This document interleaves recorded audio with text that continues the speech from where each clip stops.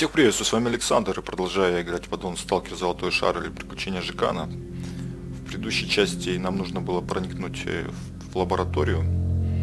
Крысобой со своими разведчиками ее запечатал, потому что некто оттуда вылез и обворовал их. Именно в хабаре крысобоя находился запчасть для БТР, которая нам необходима, чтобы пересечь минное поле. А сейчас нам нужно собрать оборудование а именно пропан и кислород, чтобы проникнуть в эту самую запечатанную лабораторию.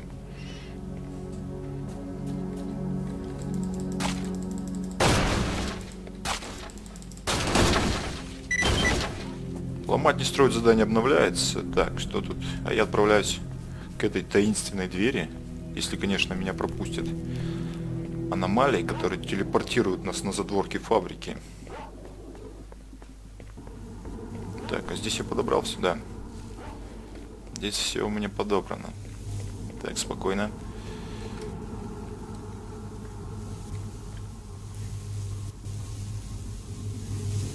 Спокойно, все под контролем.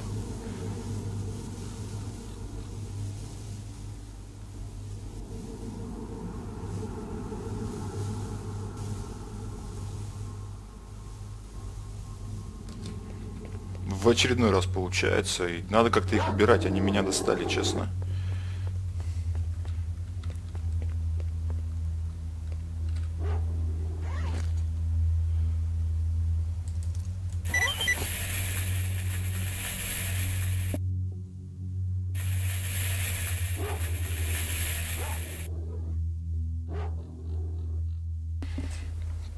Похоже, сработало. Так, что нам остается? Нам остается забрать свой хабар. Перегруз все-таки у меня присутствует. Забрать свой хабар и отправиться в эту таинственную лабораторию. Наземный, сука!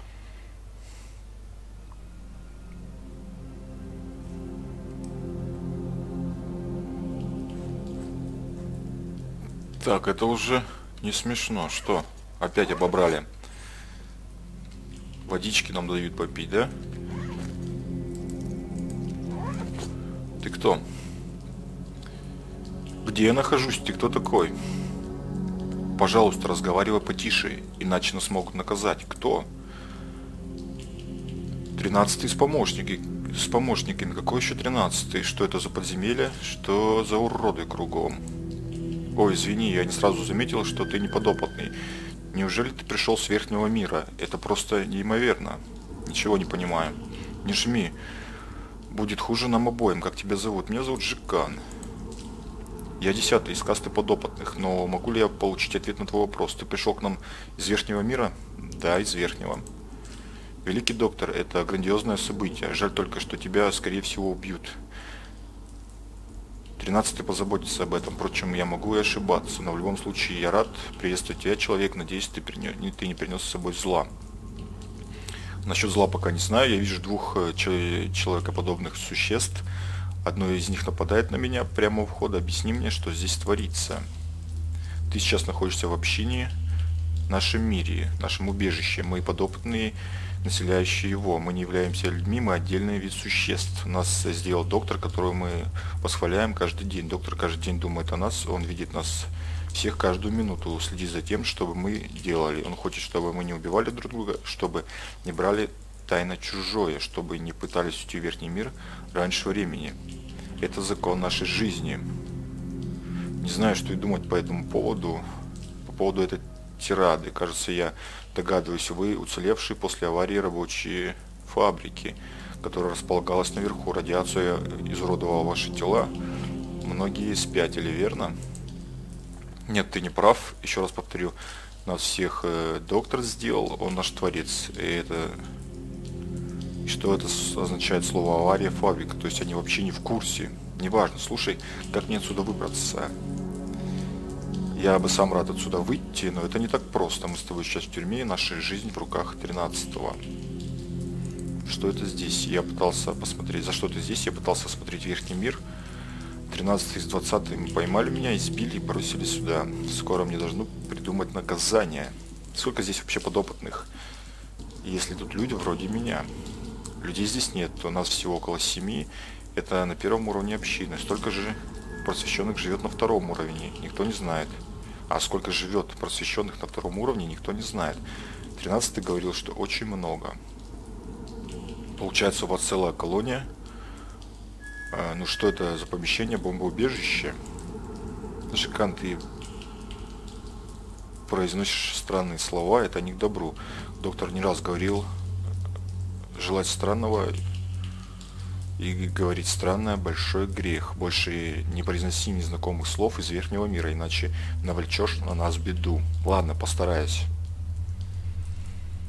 Знаешь, при мне было какое-какое имущество, когда я спустился сюда, но теперь его нет. Где я могу найти его? Оно, скорее всего, в хранилище. Им заведует 13 когда он придет к нам, задашь ему этот вопрос, если он не убьет тебя сразу же. Кто такой 13 -й? Он адепт, э, кандидат в просвещение, подобный, который проявил особую преданность в служении доктору и скоро получит доступ на второй уровень. На второй уровне общины и возможность стать просвещенным. Пока что он главный на первом уровне. Слушайся его и не смей ему перечить. Скоро он сюда придет.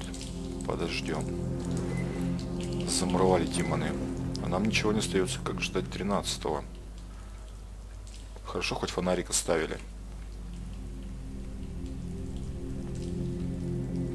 Извините. И червя червяк, вставай быстро, иди за мной. Но я думаю, смысла нет сейчас с ним пререкаться. Хорошо, иду. Не вздумай удирать, если останешься от меня больше, чем на пять шагов, умрешь на месте. И я раздавлю твой мозг, как яйцо. Понял.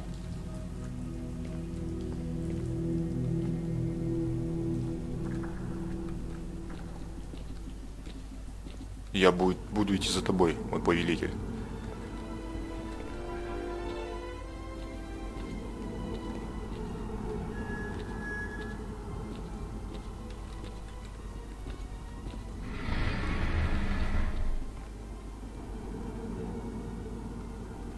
Что теперь? Запомни, запомни, ты скользкий червь. Имя твое теперь будет звучать именно так. Если ты обращаешься ко мне или к другому адепту, то должен называть, э, ты должен начинать свою мирскую речь со слов «Скользкий червь, обращаюсь к тебе, о адепт». Повтори. «Скользкий червь, обращаюсь к тебе, о адепт». Червям запрещено уклоняться от работы, ходить там, где им хочется. Есть, есть то, что найдено или поймана в общине, прикасаться к приборам и машинам своими грязными лапами, подходить или прикасаться к адептам без разрешения. За первое нарушение ты будешь избит. А если нарушишь правила, еще раз, я превращу тебя в вонючий скот без мозгов. Ты будешь жить в месте, где адепты и черви справляют нужду, и где нет воды. Если ты нарушишь правила в третий раз, ты умрешь. Тебе ясно, червь? Да, конечно. Теперь я скажу тебе о работе. Каждый червь вроде тебя должен каждый день работать на благо общины.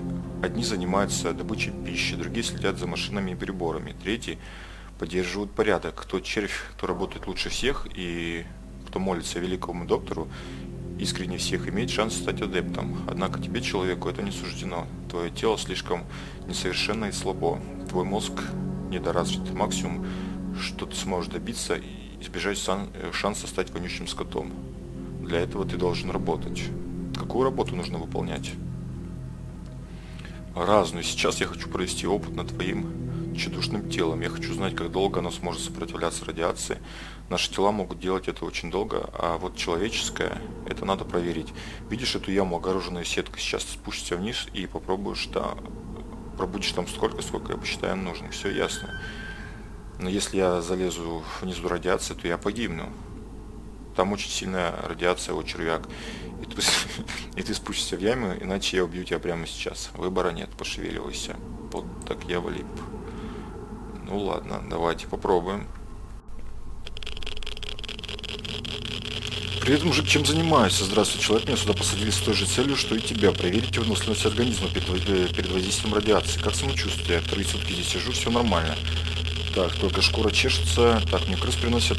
Слушай, не подскажешь, как мне отсюда выбраться? Этот урод наверху задумал умереть не радиации. Но я не переношу ее, как вы.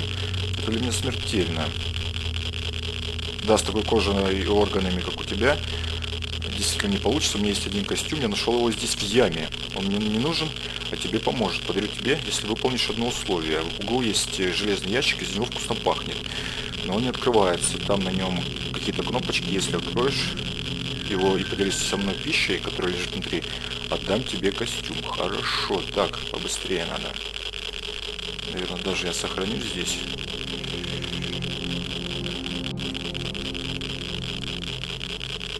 Северный полюс. Северный полюс. Полез я искать данные информации о Северном полюсе. Он нас не выпускает. Так, сейчас быстрее. 1909 нагуглил да, информацию. Отряд Пери на Северном полюсе. Фотография датированная. В ящике только запчасти, крысиные тушки. Отлично, давай крысу, да? Жирненький костюм дашь или нет? Да, он твой, спасибо эколога. Допустим. Что дальше? Долго здесь собираешься сидеть? А что, мне нормально. Кормежка, вода есть, работа не заставляет, жить можно. Ну хорошо. А как бы ты действовал, если бы ты думал отсюда выбраться? Зачем мне выбираться? Начальство это запретило. Сказано было мне, сиди здесь, червяк, а то по мозгам получишь. Я сижу. Кормят, поют, работать не заставляют. Да, понял я. Хорошо, давай по-другому. Сколько крыс тебе надо, чтобы ты подумал тем, как отсюда можно выбраться? Крыс, говоришь? Крыски вкусные, я их люблю. Ну, парочку тушек, может быть, и придумаю. На голодное брюхо понимаешь, что-нибудь придумаю. Так, вот у меня есть две крысы, бери. Спасибо, вот я сегодня поужинаю. Как насчет моего вопроса? В общем, так я скажу, здесь есть разные машины агрегаты, от которых идет радиация, которых нас испытывают. Я посмотрел на эти машины, сразу понял, что они работают, но неправильно. Они сломались, э, немножко сломались, поэтому их долго не чинил никто. Если их починить, то они перестанут давать радиацию. Как их починить?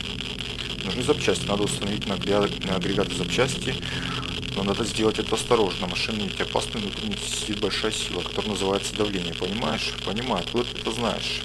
Великий доктор сделал меня таким, который ведает машинами. Такие подобные обязательно должны быть в общине. Ты говорил о машинах и деталях. Подробнее можно? Да, вот э, эти две высокие длинные штуковины со шлангами и проводами, стоящие сбоку от нас, есть в машине. От них идет радиация. В одной из них испортилась деталь, которая называется клапан. Нужно найти запасной клапан и поставить на эту машину. Похоже, что клапан я уже нашел. В какой именно машине нужно его заменить. Не знаю, это можно узнать с помощью третьей маленькой машины, которая стоит сбоку, в углу. Она исправна, но в ней стоит разбитый манометр. Надо сначала поставить на целый манометр, посмотреть, какое он может дать давление. Если больше 5 бар, это значит, что клапан надо заменить в машине номер один. А если меньше 5 бар, в машине 2. Так, хорошо, и тогда радиация пропадет полностью не пропадет, но ослабнет до такой степени, что станет почти не опасно. Запомни, нужно с первого раза поставить клапан именно в неисправную машину, иначе ты все испортишь. Давление вырвется наружу и может нас убить. Как все запущено, давай повторим сначала. Первое, установить мотор, манометр в малую машину. Второе, посмотреть на давление. Третье, поставить, если оно больше 5 единиц, значит отремонтировать первую машину, если меньше вторую. Все правильно понял. Кстати, если радиация снизится, то нас точно не станут здесь больше держать. Этого я и хочу. В принципе, логично. Так, поставлю я манометр, говорит. Давление 7 бар.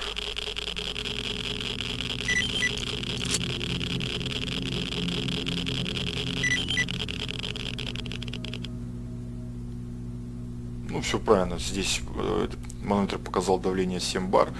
Со второй машины во второй машине я повысил давление или понизил. Но не суть важно, радиация ушла.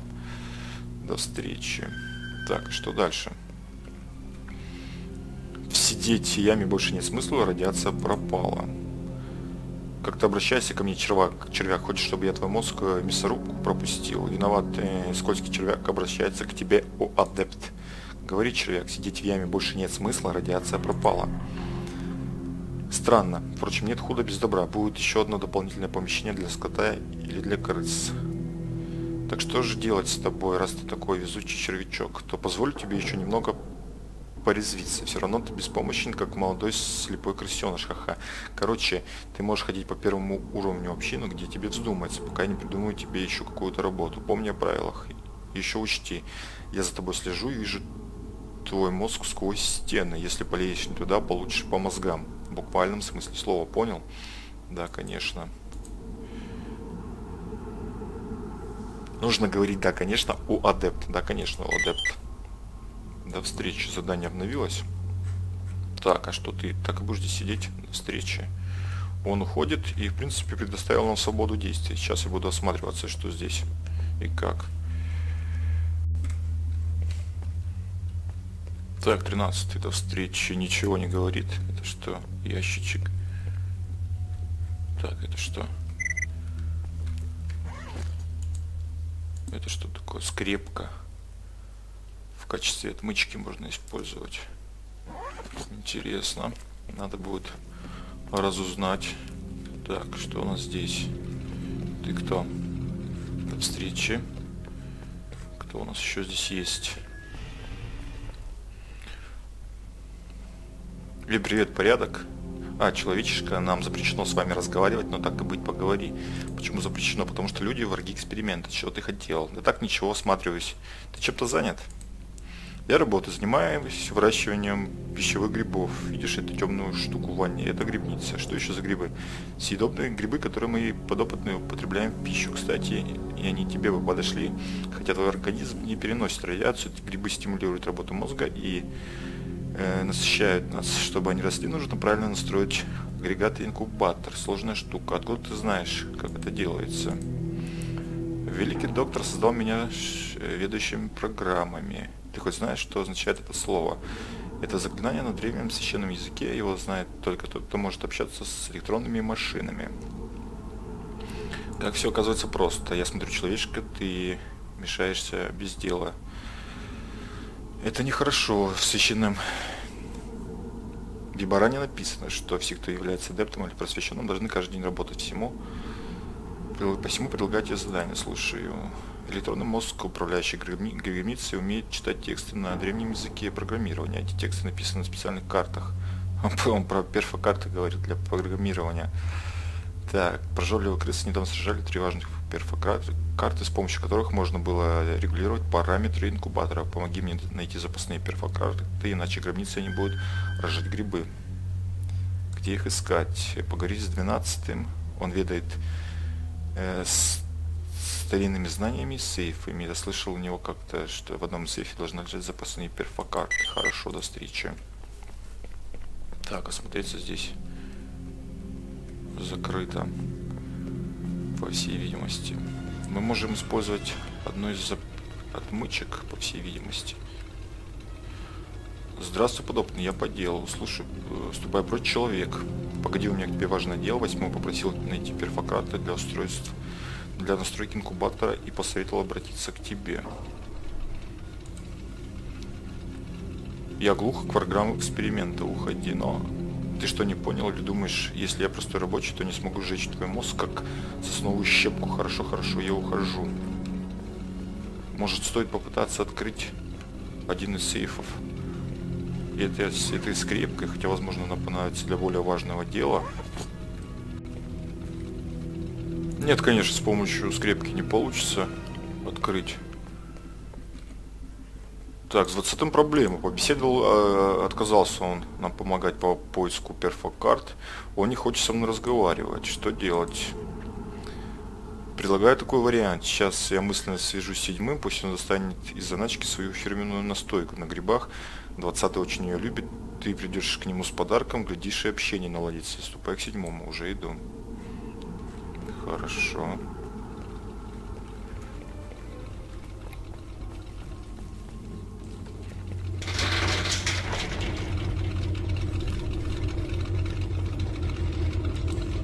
Вот и наш редуктор нашелся. Также задание обновилось. Дело мастера боится. Это по, по поиску инструментов для Василия, да? Так, я насчет настойки от восьмого, для восьмого. Так, я уже получил его мысленное сообщение, только с чего ты взял, что отдам свой последний запас ему прямо сейчас, и главное просто так. стоит вопрос о функциональности инкубатора. Не знаю, что он там натворил с инкубатором, но стойка просто так я ему не дал. А вдруг он вообще не заработает. На стойка-то всего одна бутылка осталась. О боже, просто скажи, что мне нужно сделать, чтобы ты отдал эту несчастную бутылку и забыл о ней. Надо подумать, у меня тут дверца холодильника заклинила, а в нем мясо лежит, можно просто выломать, а...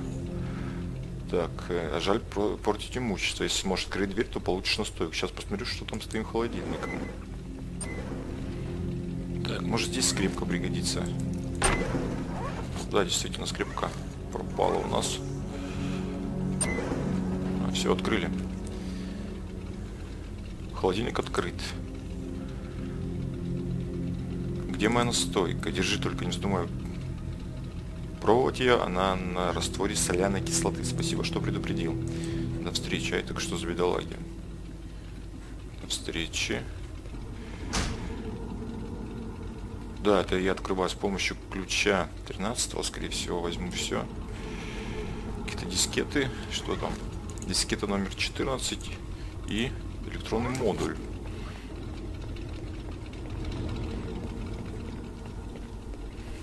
Так, 20 Эй, послушай меня в последний раз. У меня грибная настойка есть, гляди какая крепкая. Седьмого достал. На кой ляд она тебе сдалась человеческая? Может, ты, ты ее выпить вздумал? А может, и не выпью. Может, и выпью. Не пропадать же добру. Не делай глупости, дуря башка. Для тебя эта жидкость просто ад. Чего вдруг такая забота о моей жалкой людской натуре? Это просто мне настойки жалко. Испортишь хороший продукт. Да, давай договоримся, я тебе настойку, а ты мне информацию о перфокартах. Черт с тобой человеческого говорил, сразу бы так. Что, что, что насчет перфокарт? Дело обстоит следующим образом. Я, ведущий древними знаниями общины, все записи, содержащие полезную информацию, должны быть э, достоянием подопытных, потому что в них содержатся полезные сведения по поводу эксперимента. Но люди, которые хотят э, прекратить эксперимент, заперли свитки с информацией в крепкие железные ящики хитрыми замками. Их нельзя ни разбить, ни взломать. Видишь эти три ящика напротив стены? Да, это сейфы.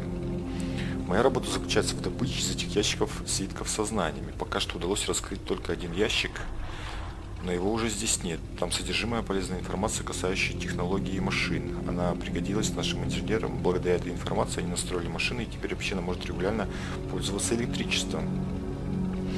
Также в том ящике был обнаружен журнал с учетом всех знаний, запертых во всех остальных ящиках. Там были упомянуты перфокарты, в одном в каком именно ящике они находятся, не могу сказать точно, но они есть.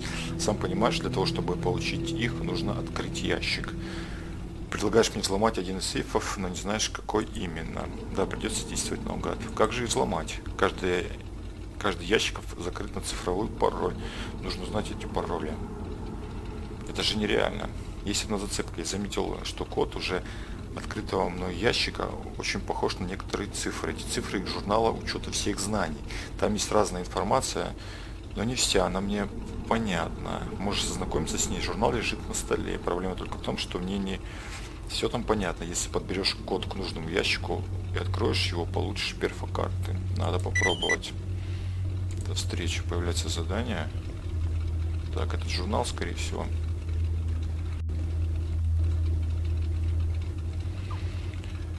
Инструкция для офицера безопасности, часть номер пять.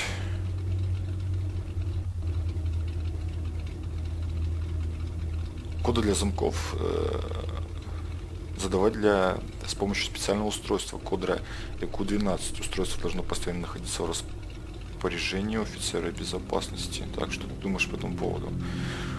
В журнале есть упоминание сейф, рассказывает, упоминается некий прибор, с помощью которого можно открыть любой сейф полезная штуковина, где она находится. Если бы я знал, есть информация, что ей владел некий офицер безопасности.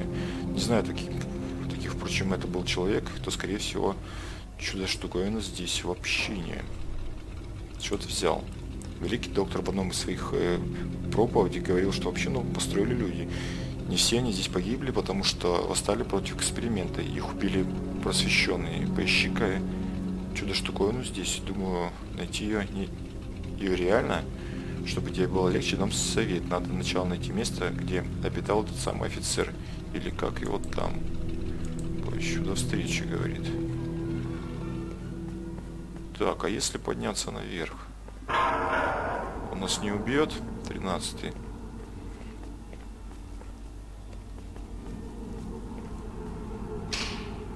Так, а что это включается? Непонятно.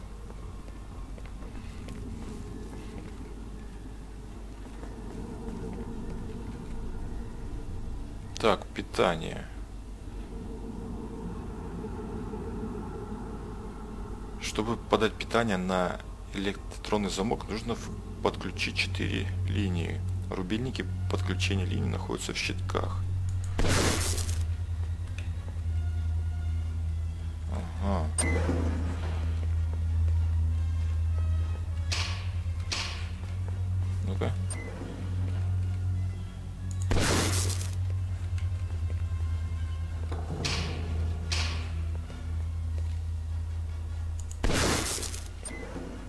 Ничего не происходит, буду я разбираться. Играю без худа, поэтому не все у меня иногда срабатывает.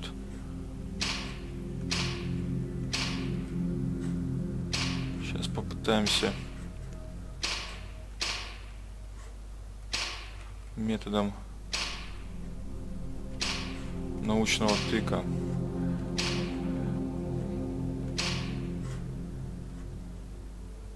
Так, этот выключен. Вроде готово.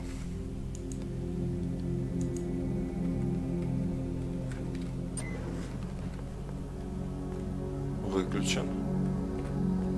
Второй. Нет, втор... второй забыл выключить.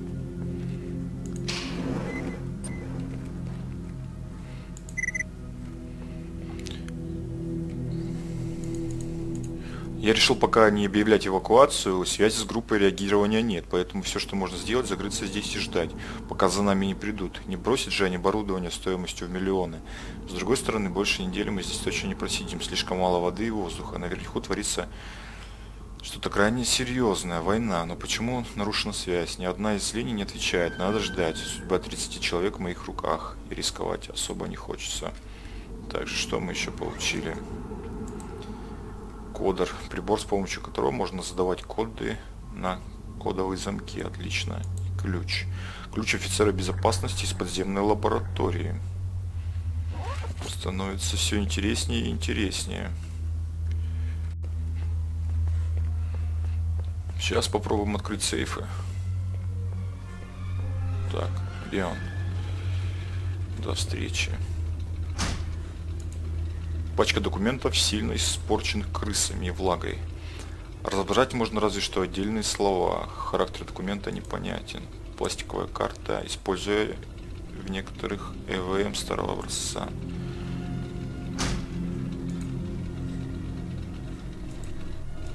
То же самое. Так, еще этот я пробовал. Я нашел поврежденные пачки документов в сейфах. Отдай их мне, я вещаю знаниями, они должны быть у меня. Эти бумаги настолько повреждены крысами и сыростью, что на них нельзя пока ничего разобрать, почти ничего. Ты не понимаешь, человек, у меня есть специальный дар, ведь то, что было написано, стерто временем. Для тебя это буквы, написанные на листах, уже не видны, а я могу их прочитать без запинки. Интересная способность. Что ты можешь мне дать за эти документы? Раз уж ты мне помог, мне с этими чертовыми ящиками, то я дам тебе красную штуковину, которую я нашел в крысиной норе, красивую. В иллюзии такие цените, они вам там нужны. Давай, не помешает. Когда ты подойдешь, подошел ко мне в первый раз, я был не в духе, извини, это произошло из-за того, что моего друга десятого посадили в заключение, теперь ему грозит смерть. Я встречал его в карцере, он сказал мне, что его посадили туда за то, что он хотел сбежать. Это серьезное преступление, возможно, десятого, и не приговорили бы к смерти, если бы не предыдущие беглецы. То есть контролеры отсюда сбегают, и за этим всем стоит некий доктор. Случаи побега были раньше.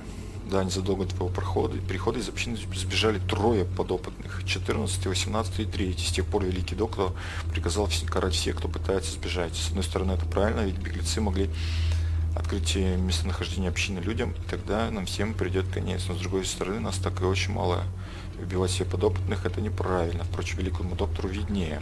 Он нас создал, он же вправе нас уничтожить. Мне кажется, я встречал кое-кого из ваших беглецов на поверхности.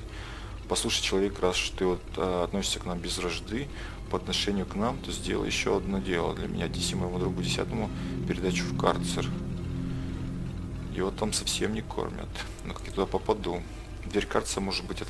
открыта только 13 -м. Я мысленно поговорю с ним. Думаю, что он не откажет мне. Дело в том, что десятому запрещено общаться с подобными, а вот с людьми можно, поэтому я и попрошу именно тебя.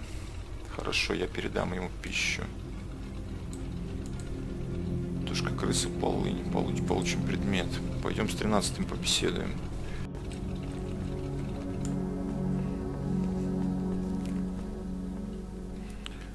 Скользкий червь обращается к тебе, о адепт. Чего тебе? Я 12 насчет передачи. Помню, помню, только зачем тебе так беспокоиться за этого недоумка? Все равно я лично казню его через два дня. В общем, сейчас я открою тебе дверь, у тебя будет пять минут, чтобы передать все, что ты хочешь. Если не успеешь, будешь сидеть вместо него два дня. Понял меня, червяк? Так точно, ваше благородие. Точнее, адепт. Так, переносит нас обратно в карцер, да? Где ты, бедняга? Привет, я 12 он передал тебе немного еды, вот возьми. Я знал, что ты вернешься, Жикан, откуда? После того, как я тебя увидел, я много думал, учитывая то, что тебя не убили сразу на, не убили сразу на входе в общину. Или не зажарили твой мозг. Напрашивается вывод, что кому-то ты здесь понадобился. Живым и здравомыслящим. Поэтому я не удивлен видеть тебя снова. Кому я здесь мог быть нужен? Давай обо всем по порядку. Как тебе уже сказали ранее, меня посадили сюда и приговорили к смерти за то, что я хотел сбежать из общины. Слышал об этом? Да, конечно. Не кажется ли тебе странным, что здесь э, в изолированной общине, расположенной посреди изолированной же зоны отчуждения, действуют такие строгие правила и законные? Откуда ты знаешь о зоне отчуждения? Я знаю намного больше других подопытных и адептов. В мою голову было заложено знание, позволяющее мне ведать электроникой и компьютерами, чинить и настраивать их. Я долгое время работал на благо общины, занимался именно этим, но однажды я заметил одну странность. Почему-то все оборудование одного определенного типа вообще не было намеренно уничтожено или испорчено так, чтобы его нельзя было починить. Это оборудование, с помощью которого можно было связаться с другими собеседниками на дальних расстояниях подобным в нем не было необходимости, но людям, не обладающим языком мыслепередачи, оно бы послужило. Ты имеешь в виду связь, радио, телефон, радиостанции? Да, так это называется по-нашему. Я искал техническую документацию, чтобы починить эти приборы. Но выяснилось, что ее кто-то забрал или уничтожил. Скорее всего, кто-то намеренно пытался сделать так, чтобы община была отрезана от всех средств общения с внешним миром. Тогда у меня возникла мысль, зачем это кому это нужно? Может кто-то специально пытается изолировать общину и боялся никаких последствий. Возможно, у него были опасения, что люди найдут общину по радиосигналам. Может и так, но у меня возникла иная мысль. Что если кто-то намеренно хотел изолировать нас от внешнего мира, потому что что-то скрывал или не хотел, чтобы подопытные узнали о чем-то, о чем не следует им знать. Я задался идеей восстановить связь с внешним миром, нашел чудом сохранившуюся схему простого транзисторного радиоприемника из запасных частей и отходов электроники смастерил его. Так я узнал, что нас окружает зона, вокруг нее простирается огромный мир, наполненный людьми. Великий доктор все время говорил нам, что людей на самом деле немного, и чтобы победить их, ну, нужно больше времени бороться и верить. Теперь же мне стало ясно, что это неправда. Кроме того, я узнал еще одну шокирующую для меня вещь, какую. Оказывается, мы подобные никакие не сверхсущества, мы просто несчастные мутанты, результат генетических и прочих чудовищных экспериментов. И самое страшное, все мы были людьми, обычными людьми, жившими во внешнем мире. Здоровыми, полноценными, возможно, даже а, радовались жизни. Зачем люди нас так изуродовали? Зачем посадили это сырое подземелье? Зачем стерли нам нашу память, нашу жизнь? Это самый чудовищный эксперимент, который только может быть. Меня обуяла злость и смятение. Вполне правдоподобная теория, я, я сочувствую. Я решил, что все подобные живущие вообще должны знать, кем они являются на самом деле.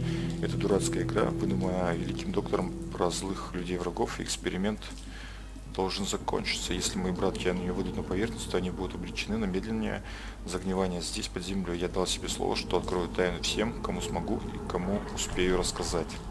кто это такой великий доктор, это человек? Скорее всего, да.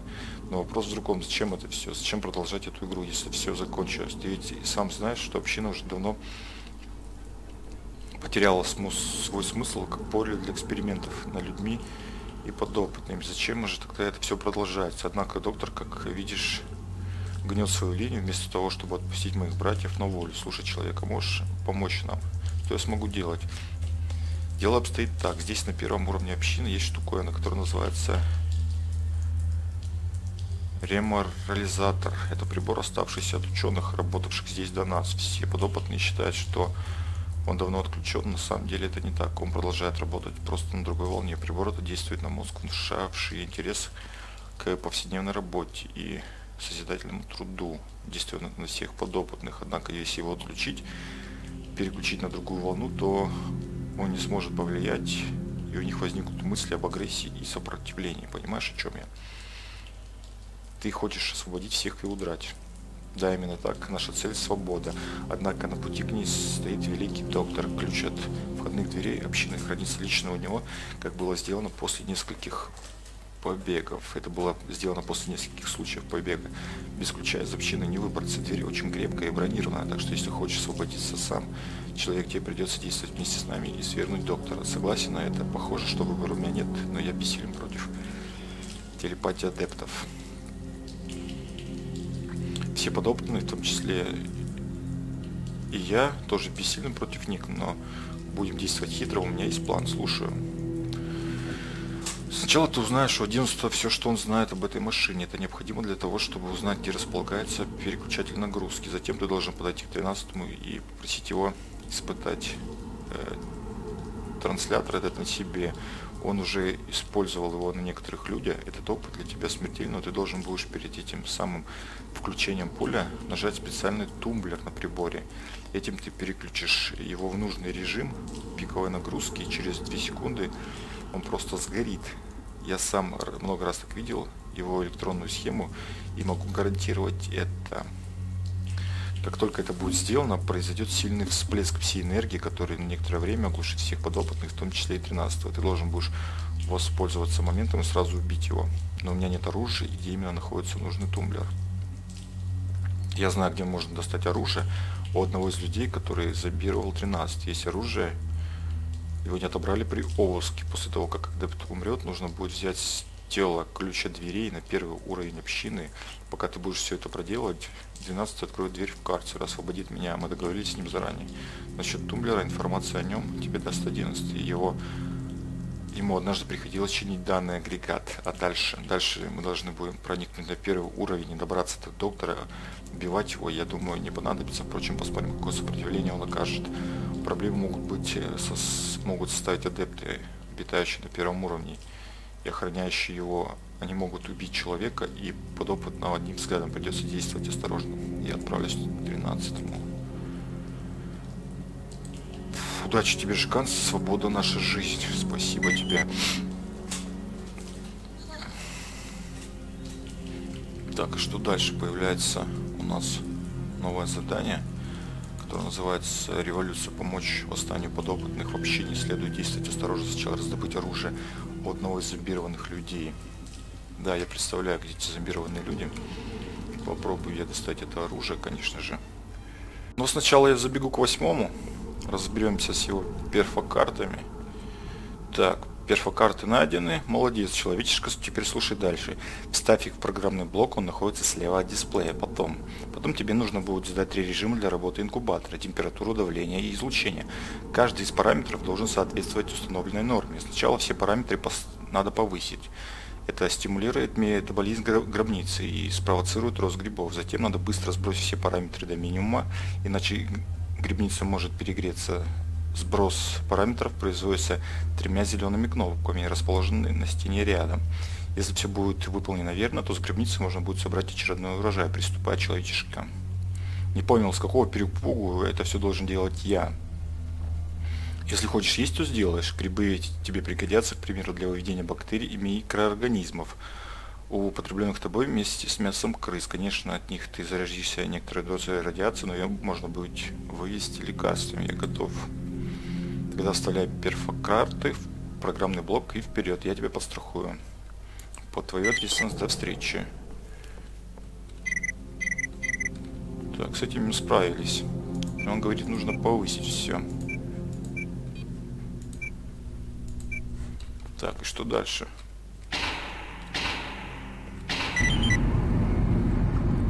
Сработало. Похоже, мне удалось запустить инкубатор. Ты удивил меня, человечишка. Обычно от вас одни проблемы, что теперь ты можешь пользоваться инкубатором, собирать урожай с гробницы пока, когда посчитаешь нужным, но не чаще одного раза в час. Гробнице нужно время для регенерации. Понятно, до встречи. Ну, это своеобразный квест на чтобы программиться здесь. Радиоактивный гриб. Так, что дальше? Дальше нам нужно добыть нож у одного из заключенных, которые сейчас зомбированы.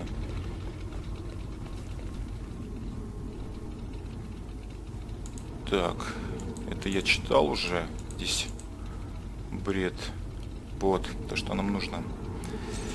Ты собираешься ловить крыс для кухни. Ты сам ловишь, вернее, да, как мне занятие это надоело, если бы ты только знал. Мало того, что самого утра торчишь у плиты, так еще и по коридорам приходится бегать за этими грызунами. О, мои колени, сожалею. Я смотрю тебе, пока 13 не нашел работу, давай помоги мне, налови крыс для обеда, а тебе отменный крысиный стейк за бабаху. Ну что скажешь? Почему бы нет? Он нам дает крысоловку, хорошо. Но дело твое еще вот в чем. Поскольку у тебя мозг не такой, как у нас, то чуть крыс сквозь стены ты не можешь. Поэтому я дам тебе знать, когда очередная стая приползет в наши окрестности. Как ты это сделаешь? Значит, слушай, как надо работать. Ты берешь крысоловку перезаряжаешь ее, затем идешь по своим делам. Я как только заслышу крысу, в общину, я сразу же дам тебе знать с помощью, так сказать, мозгового послания. В общем, ты сразу поймешь, что к чему. Понял? Да, кажется, понял. Жду твоего сигнала. До встречи. Так, крысоловка. Где она? Повеси на пояс. Сейчас я настреляю по-быстрому для него 5 крыс.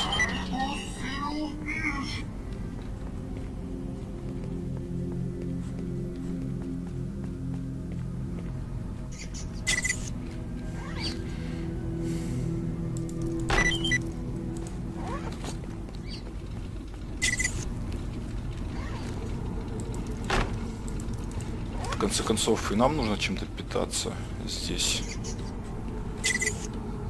Так. У меня уже 7, еще ведь хватит.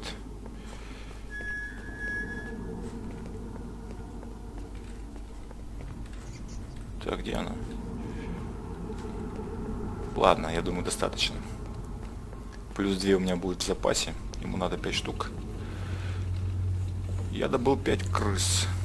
Молодежь человеческая, жаль, что ты не подопытный. Жаль, давай сюда мясо, вот, пожалуйста. Хорошая добыча. Я надеюсь, ты не оставишь меня голодным. Конечно, нет. Вареных крыс я тебе не дам. Это блюдо для адептов. Они любят нежное мясо, а вот хорошо прожаренная крысятина как раз тебе подойдет. Приятного аппетита. Спасибо. Все, выполнили мы задание. Теперь у нас появился... Появилось крысиное мясо. Отлично. Посмотрим, что этот товарищ нам расскажет. Ты слышишь меня? Ну не надо. Не стукай, не стукай, успокойся, я не собираюсь тебя бить. Ой, братишка вернулся, да? Проголодался, наверное. Я не братишка, у тебя, у тебя есть оружие? Братишка мой братишка, дай хлебушка. Нет у меня хлеба.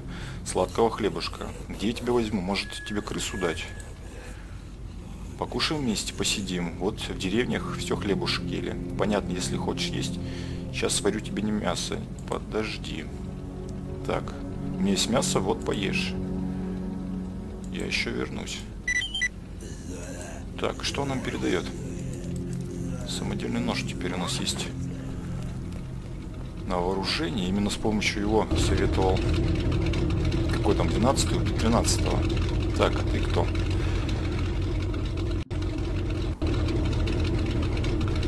Здравствуй, подопытный, я по делу. Ух, человечишка, как кто тебя сюда пустил? Сам пришел, мне сказали, что ты занимаешься машинами и механизмами. Это тебе зачем? Меня интересует машина, которая называется... Понятно. Откуда ты знаешь о ней? 20 12 рассказал награду за помощь. Эта машина создавалась людьми для исследований над нами, подопытными. В ней есть нечто, которое источает невидимые лучи, действующие на мозг так, чтобы подопытный становился спокойным и не смел думать о сопротивлении. Люди специально воздействовали на подопытных этими лучами. Но продолжалось это только до тех пор, пока великий доктор не освободил нас.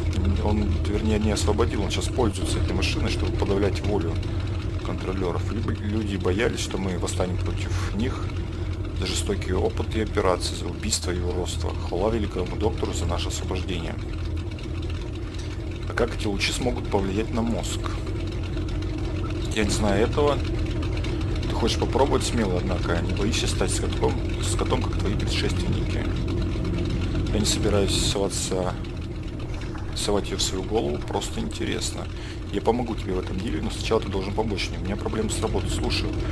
Как я уже сказал, я занимаюсь машинами и механизмами. Это очень важная функция, потому что именно мои насосы перекачивают для общины воду, и мои генераторы вырабатывают энергию, которая нужна для работы насосов. Однако с недавнего времени энергия стала поступать от генераторов к другим машинам неравномерно. Похоже, что провод, идущий от них, где-то поврежден или перекушен колесом. Исправь, исправить это должен я, но у меня много других дел, а ты как раз болтаешься без занятия. Найди место, где оборван провод почини ему. Кроме того, еще одна беда. Трубы, по которым течет вода старые, и во многих местах прохудились. Необходимо проверить их на неполотность ли. Если такие найдутся, заделать их. Здесь много проводов и труб. Как я это все сделаю? В углу этого цеха есть штука с информацией, забыл, как она правильно называется. Так вот, и в нем имеется схема электролинии общины, а также инструкции по ремонту труб. Найди их и изучи. И устрани поломки. Хорошо. Так, новое задание для единого разрыва. Так, что здесь с компьютером? Так, загруженные данные гидравлика. Электроснабжение. Данные отсутствуют, ставьте дискету номер 8. А у меня она есть? Нет, никаких дискет у меня нету.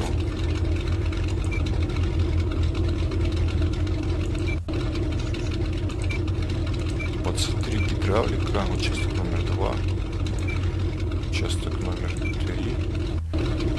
Наметки, может, какие-то дает. Так, щитки, говорит, починить. Крыса поймана. А щиток я починил. Интересно. Так, одну трубу я вижу.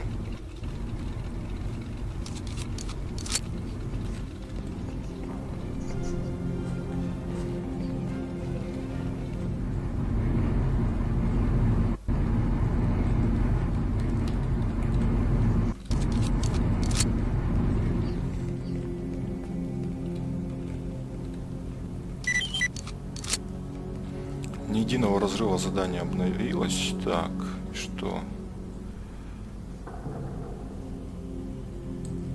Получить доступ к информации в компьютере.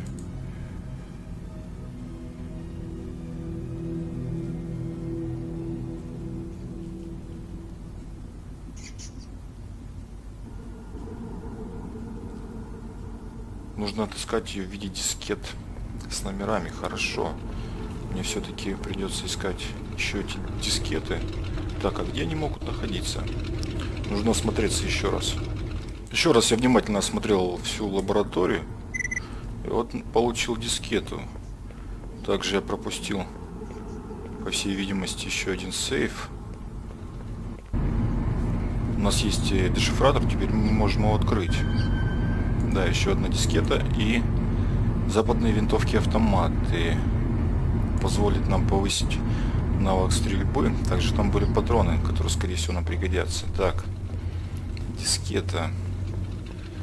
Теперь нужно попытаться вставить обратно. Загруженные данные документация. Загруженные данные электросистема. Так, документация, доступ к технической документации. Так, это понятно. Код безопасности, доступ к архиву. Как электроснабжение схема персонала холодильной установки. Так, данные полученные на ПДА. Схема лаборатории. Генератор, электрические щиты, излучатель Кайманова, прототип, инкубатор биомассы. Отлично. Так, я примерно представляю, где что находится. Один готов.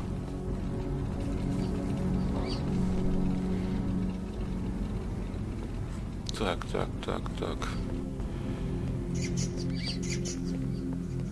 По-моему, здесь был. Да.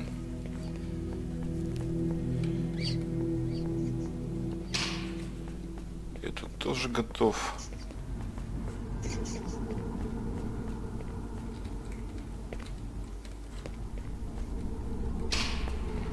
Еще один.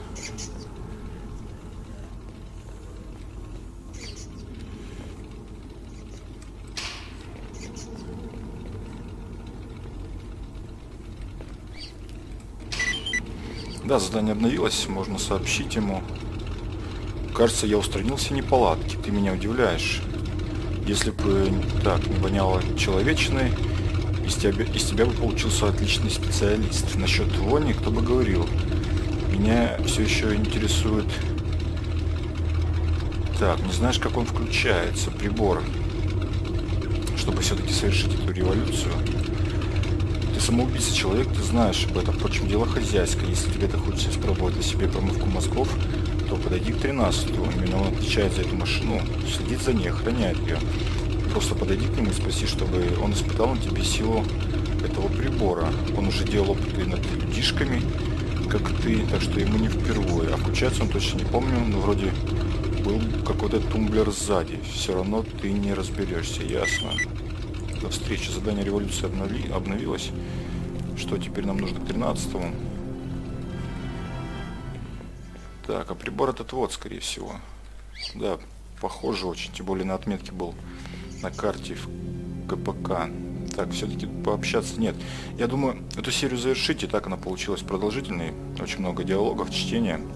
Продолжу уже в следующей серии убьем наверняка 13 и покончим с доктором. Раскроем секреты этой лаборатории. А с вами был Александр. Всем пока.